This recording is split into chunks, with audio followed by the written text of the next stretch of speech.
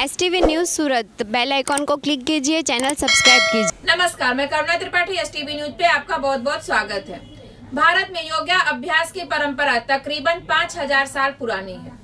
योग को शरीर और आत्मा के बीच सामंजस्य का अद्भुत विज्ञान माना जाता है। इस प्राचीन पद्धति के बारे में जागरूकता फैलाने के उद्देश्य से हर साल 21 जून को अंतर्राष्ट्रीय योग दिवस मनाया जाता है। आज गुर्जर क्षत्रिय समाज युवा ग्रुप के द्वारा योग शिक्षण आयोजित किया गया। ठीक है। भरत जी जो आज योग दिन है उसके बारे में आपको क्या कहना है? आज श्री समस्त गुर्जर समाज सूरत अंतर्राष्ट्रीय योग दिन की क्रांतिभाई हमारे सूरत समाज के प्रमुख कामरे सूरत विस्तार साथ में यहाँ के अलग अलग विस्तार के प्रमुख आगेवान और समस्त ज्ञातिजन खास करके हमारी आने वाली युवा पीढ़ी, युवा दल। आज हमने यहाँ पे योग का शिविर जो रखा था, उसमें कम से कम 500 से 700 युवाओं ने भाग लिया। साथ में एक ही हमारा एक यहाँ पे युवा जो, युवा दल को आह्वान है कि आने वाली पीढ़ी, जो भी व्यसन है, व्यसन मुक्त बने और आगे से ये योग में बड़ी संख्या में ज्वाइन हुए, वही हम सबको आह्वान करते हैं। साथ में योग जो है वो काम कम से कम पंद्रह से बीस हज़ार साल पुराना योग अपना हिंदुस्तान कल्चर का है तो उसके लिए आज से पंद्रह हज़ार साल के बाद, पाँच हज़ार साल पहले ऋग्वेद में लिखा गया था। सत्रह सौ साल पहले पतंजलि महर्षि ने योग योग मॉडर्न टेक्नोलॉजी के हिसाब से आगे बढ़ाया और साथ में रामदेव गुरु जी ने जो योग इंटरनेशनल लेवल पे सबको अवेयरनेस आए, उसमें उसका बड़ा योगदान है। साथ ही में 21 जून 2015 को जब मोदी सरकार आई तो मोदी सरकार ने यूनाइटेड नेशन जनरल असेंबली में योग जो अपना मेन मूलभूत स्वास्थ्य के लिए जो है उसका इंटरनेशनल लेवल पे योग दिवस आयोग उसको डिक्लेयर करवाया और सबसे बड़ा योगदान और श्रेय नरेंद्र भाई मोदी जी को जाता है। साथ में एक सब युवाओं को हम आह्वान करते हैं कि योग ऐसी चीज़ है कि योग से खुद अपने आप अपन खुद डॉक्टर बन सकते हैं। तो सब युवाओं को हम बोलते हैं कि मैक्सिमम संख्या में इसमें जुड़े और लोगों को जोड़ने का काम करें। इसलिए समस्त गुर्जर समाज, सूरत को।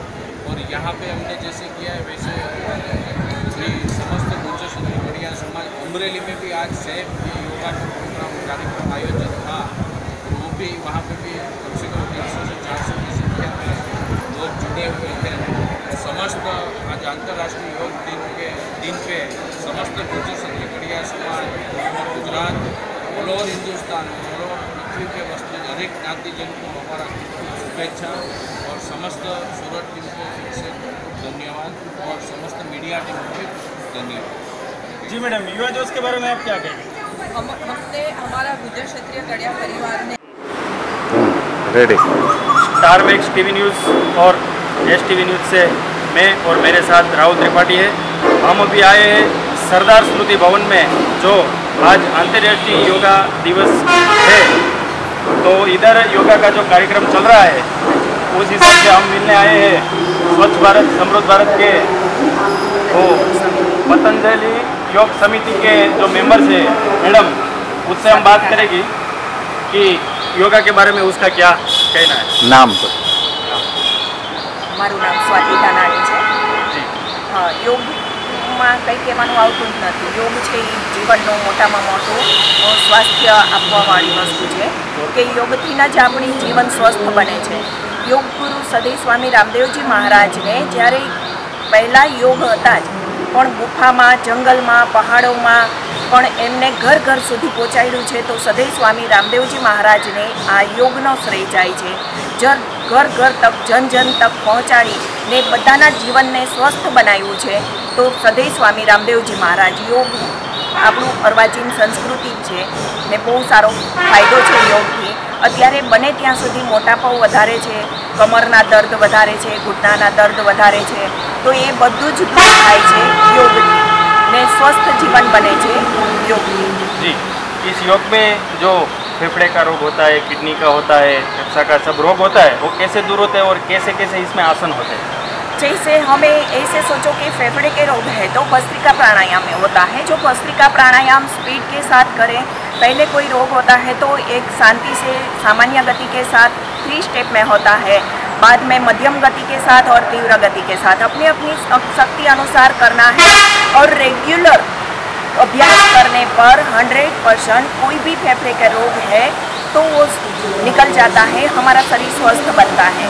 क्योंकि जब हम प्राणायाम करते हैं तो प्राण साथ व्यायाम हो जाता है। तो हमारा शरीर में ढेर सारा ऑक्सीजन भस्त्रिका प्राणायाम से जाता है और हमारे कोई भी ब्रेंस ब्लॉकेज हो जाती है तो वहाँ तक ऑक्सीजन पहुँच जाता है। इसलिए ऑक्सीजन का ही मुख्य कार्य है हमारा शरीर स्वस्थ रखना। जो डिजर्न सेल्स हो गए हैं, वो वापस रिजर्न हो जाता है।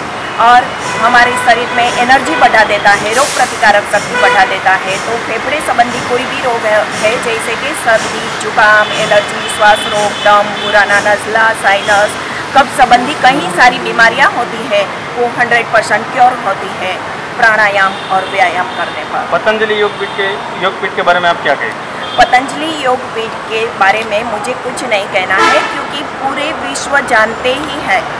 अपने विश्व भारत के योग गुरु सदैव स्वामी रामदेव जी महाराज ने जो जन जन तक योग की जागृति की, वर्षों से हमारे अर्वाचीन काल से वो तो चल ही रहा था, लेकिन उसको जगाया है, जन जन तक पहुँचाया है और अभी पूरे वर्ल्ड में ये जागृति हो ही चुकी है। आज इक्कीस जून योगा दिवस पर आप सब इकट्ठे, हम लोग सब इकट्ठे हो ही हो ही गए हैं। एक भी घर ऐसा नहीं है कि हमारे भारतवर्ष में कोई बाहर ना निकले हो। इतनी जागृति लाने वाले पतंजलि योग समिति के योग गुरु सदैव स्वामी रामदेव जी महाराज का यथार्थ प्रयत्न के बाद ही ये कार्य मुमकिन हो सकता है।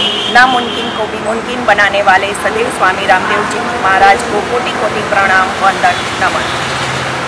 तो ये थे योग पतंजलि से और हमने उसकी बात से आज जो योगा दिन का जो शुरुआत हुई है। उसके लिए खूब खूब बधाई। मैं स्टार मैक्स टीवी न्यूज़ से जयराज नाग और साथ में राहुल त्रिपाठी के साथ। सरदार स्मृति भवन से सूरत।